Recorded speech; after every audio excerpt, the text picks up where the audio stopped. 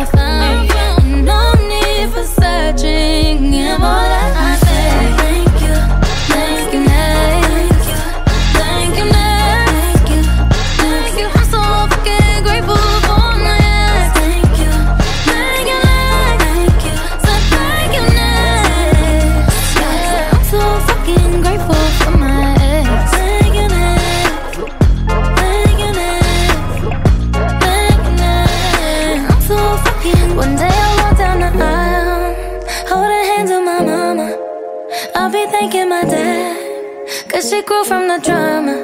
Only wanna do it once real bad, Call make that shit last.